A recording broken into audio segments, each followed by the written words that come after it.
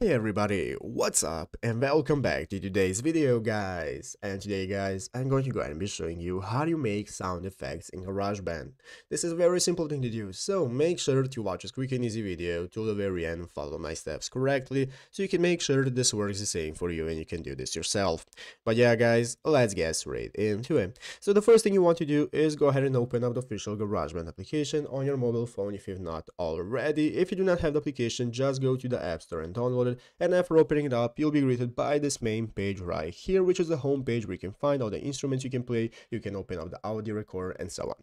So let's go ahead and see how to get started with making sound effects that you want in GarageBand. The first thing I'm going to do is open up the audio recorder right here option that's going to open up this new recording menu. So what you can do is get started recording by clicking the big red circle at the top of the screen and this is going to start recording your microphone and you can either sing, play an instrument, do whatever you want. So let's go ahead and click this recording process. As you can see, it's going to start. I'm going to finish it after I'm satisfied and now it's going to open up this new menu where I can get started with adding sound effects. So as you can see guys, we have all the sound effects we can use use like the monster effect, we had the sci-fi, the extreme tuning, then you can manage your pitch isolation and pitch control and so on as you can see right here. So you have a multitude of options that you can try right here. If you're not satisfied and you want even more options, what you can do is go right here in the upper left corner at the top of the screen and click on the sliders option. This is going to open up the track settings where if you scroll down you can find you have your plugins and equalizers, master effects and so on. All the options that you can use for adding effects to your music is right here. So you can go ahead and get